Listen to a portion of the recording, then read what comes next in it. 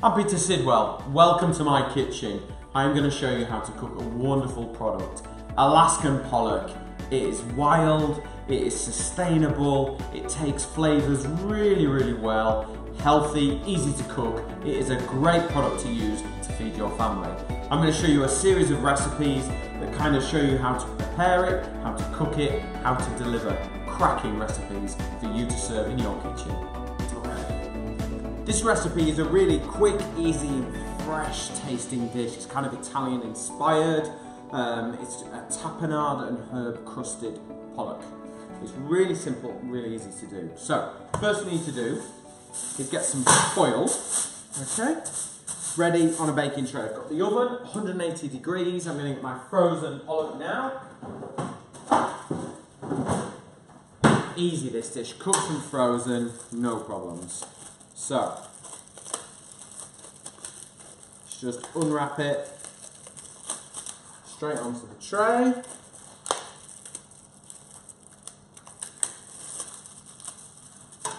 Okay, and put them together, all right, if you can, like that. And then we'll put a little drizzle of oil on, and then a touch of black pepper, and then a little bit of salt, not a lot. It doesn't need a lot for this because of the topping that's going on it, okay? Right, so let's put that to one side.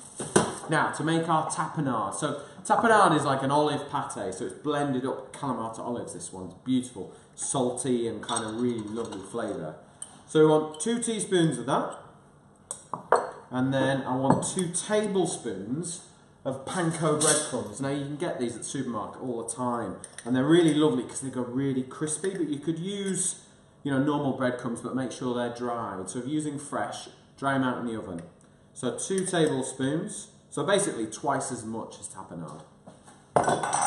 And then we want a glug of oil just to kind of loosen it and allow it to crisp up, and then mix that together. Okay.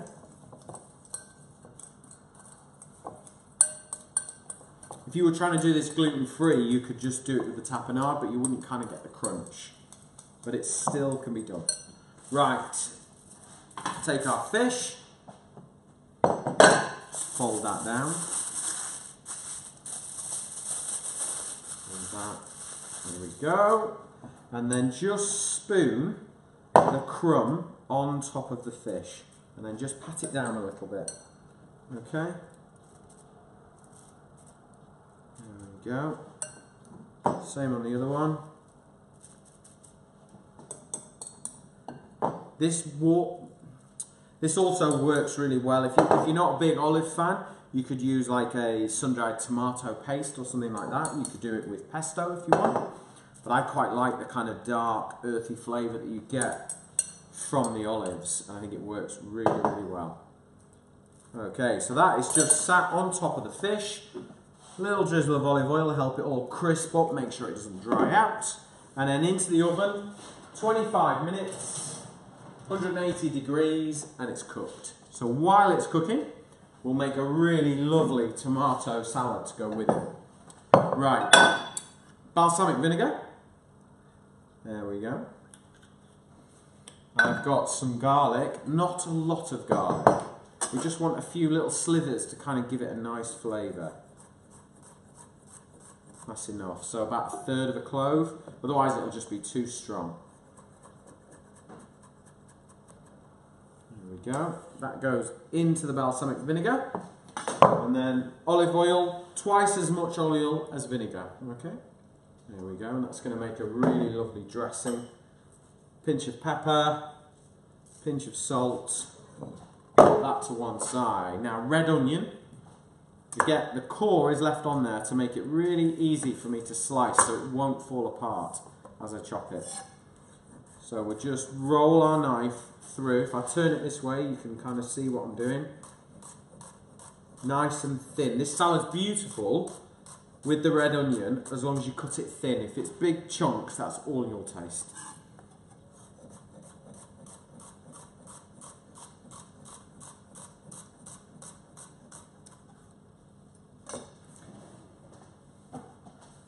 Pop the red onions straight into the dressing.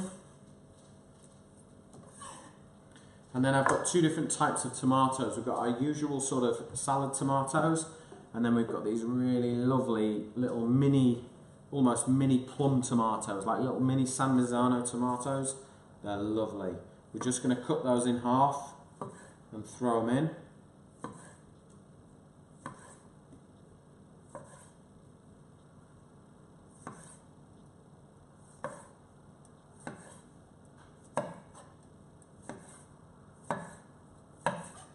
Go, straight in.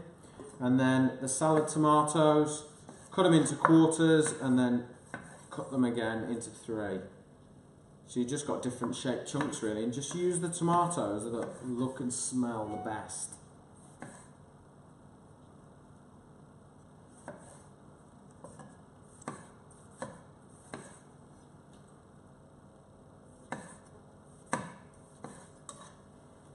Okay, let's just give this a really good mix together. Get that dressing all over the tomatoes. That's what's going to kind of allow it to kind of marry together and get all the flavours working. There we go. And then I've got some beautiful Greek basil. Love this stuff. Starting to see it in all the supermarkets now. It's kind of sweeter than your traditional big leaf. There we go. So we'll pop that straight in. And that is it. That is ready to go. All we need is our pollock that's in the oven to be ready and we're good to go. Okay, the fish has been in the oven for 20 minutes, 180 degrees. The tapenade is all lovely and crisp. Tomatoes have just sat in that lovely olive oil and balsamic vinegar and they just smell so fresh. This is just so Mediterranean this.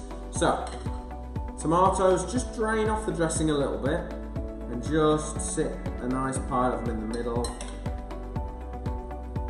There we go. And then we will grab a spoon and just lift off one of these pieces of fish. There we go. We'll just sit that on top of the tomatoes a little squeeze of lemon or lime, whichever you've got. That burst of acidity will just kind of clean it all up really beautifully. And then that tiny little drizzle of good olive oil is exactly what it needs. So that is our wonderful Alaskan pollock topped with a olive tapenade and breadcrumb crust with a tomato and red onion salad.